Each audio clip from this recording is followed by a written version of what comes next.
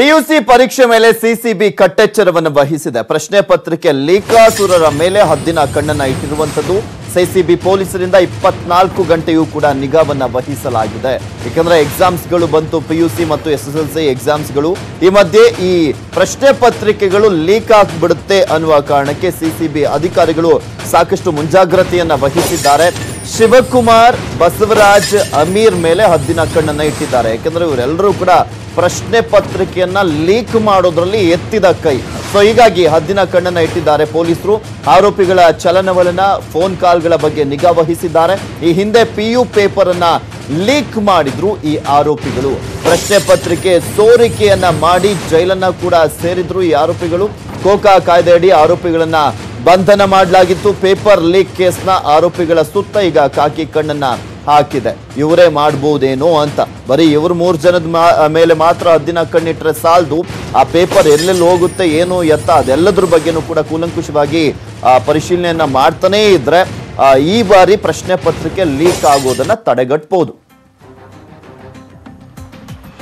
ನಿಮಗೆ ತೋರಿಸ್ತಾ ಇದೀವಿ, ಶಿವಕುಮಾರ ಇದಾನಲ್ಲ, ಈತನೇ ಸಾಕಷ್ಟು ಪ್ರಶ್ನೆ ಪತ್ರಿಕೆಗಳನ್ನ ಲೀಕ್ ಮಾಡಿ ಸಿಕ್ಕಾಕೊಂಡಿದ್ದ, ಯಾಕಂದ್ರೆ ಕಷ್ಟಪಟ್ಟು ಓದ್ತಾ ಇರ್ತಾರೆ S S L C, P U C ವಿದ್ಯಾರ್ಥಿಗಳೆಲ್ಲ ಈಸಿಯಾಗಿ ಪ್ರಶ್ನೆ ಪತ್ರಿಕೆಗಳನ್ನ ಲೀಕ್ ಮಾಡಿಬಿಟ್ಟು ಅಲ್ಲಿ ಯಾರಿಗೋ ಮಾರ್ಕೊಂಡು ದುಡ್ಡನ್ನ ಮಾಡ್ಕೊಳ್ತಾ ಇದ್ರು. ಈಗ ಸಿ ಅಧಿಕಾರಿಗಳು ಇವರ ಮೇಲೂ ಕೂಡ ಹದ್ದಿನ ಕಣ್ಣನ್ನ ಇಟ್ಟಿದ್ದಾರೆ.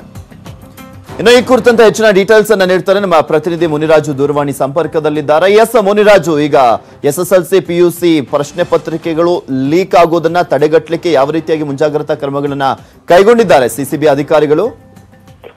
ಪೃಥ್ವಿ ಈಗಾಗಲೇ ಪಿಯು ಪರೀಕ್ಷೆಗಳು ಆರಂಭ ಆಗಿರೋದ್ರಿಂದ ಎಲ್ಲೋ ಒಂದ್ ಕಡೆ ಸಿಸಿಬಿ ಪೊಲೀಸರು ಈ ಒಂದು ಪ್ರಶ್ನೆ ಪತ್ರಿಕೆ ಲೀಕ್ ಅನ್ನ ಈ ಬಾರಿ ಸಹ ಒಂದು ವಿಫಲಗೊಳಿಸಬೇಕು ಅಂತ ಹೇಳಿ ಒಂದು ಹದ್ದಿನ ಕಣ್ಣನ್ನ ಇಟ್ಟಿರುವಂತದ್ದು ಈ ಮೊದಲು ಏನು ಪೇಪರ್ಗಳನ್ನು ಲೀಕ್ ಮಾಡ್ತಿದ್ದಂತ ಒಂದು ಗ್ಯಾಂಗ್ ಏನಿತ್ತು, ಅವ್ರ ಮೇಲೆ ತೀವ್ರ ನಿಗಾ ಇಟ್ಟು ಅವ್ರ ಮೇಲೆ ಒಂದು ಹದ್ದಿನ ಕಣ್ಣನ್ನ ಇಟ್ಟಿರುವಂತದ್ದು ಅವ್ರ ಆಕ್ಟಿವಿಟೀಸ್ ಏನಿರ್ಬೋದು ಮತ್ತೆ ಅವ್ರ ಫೋನ್ ಸಂಪರ್ಕಗಳೇನಿದೆ, ಈ ಎಲ್ಲದರ ಮೇಲೆ ಒಂದು ನಿಗಾ ಇಟ್ಟು ಅವ್ರನ್ನ ಅಬ್ಸರ್ವ್ ಮಾಡ್ತಿದ್ದಾರೆ. ಯಾಕಂದ್ರೆ ಈಗ ಪರೀಕ್ಷೆಗಳು ಆರಂಭ ಆಗಿರೋದ್ರಿಂದ ವಿದ್ಯಾರ್ಥಿಗಳಿಗೆ ಮತ್ತೆ ಯಾವುದೇ ರೀತಿ ಒಂದು ಆತಂಕ ಮತ್ತೆ ಸಮಸ್ಯೆಗಳು ಎದುರಾಗಬಾರ್ದು. ಮತ್ತೆ ಪೇಪರ್ ಅನ್ನು ಈಸಿಯಾಗಿ ಸೆಂಟರ್ಗಳಿಗೆ ತಲುಪಿ ಒಂದು ಎಕ್ಸಾಮ್ ಆರಂಭ ಸುಮಾರು ಆರಂಭವಾಗಿ ಚೆನ್ನಾಗಿ ನಡಿಬೇಕು ಅಂತ ಹೇಳಿ ಈ ಒಂದು ಕ್ರಮವನ್ನ ಸಿಸಿಬಿ ಪೊಲೀಸರು ಮತ್ತು ಶಿಕ್ಷಣ ಇಲಾಖೆ ಅಧಿಕಾರಿಗಳ ಒಂದು ಸಹಯೋಗದೊಂದಿಗೆ ಈಗ ನಡೀತಾ ಇರುತ್ತದೆ ಏನು ಪೇಪರ್ ಲೀಕ್ ಮಾಡಿ ಈಗಾಗಲೇ ಜೈಲ್ ಸೇರಿದಂತ ಶಿವಕುಮಾರ್ ಇರ್ಬೋದು ಮತ್ತೆ ಬಸವರಾಜ್ ಇರ್ಬೋದು ಇನ್ನೂ ನಾಲ್ಕೈದು ಜನ ಆರೋಪಿಗಳ ಮೇಲೆ ಪೊಲೀಸರು ತೀವ್ರ ನಿಗಾವನ್ನ ಇಟ್ಕೊಂಡು ಒಂದು ವಾಚ್ ಮಾಡ್ತಿದ್ದಾರೆ Prithvi. Okay thank you Muniraju. ನಿಮ್ಮೆಲ್ಲ ಡೀಟೇಲ್ಸ್ಗಾಗಿ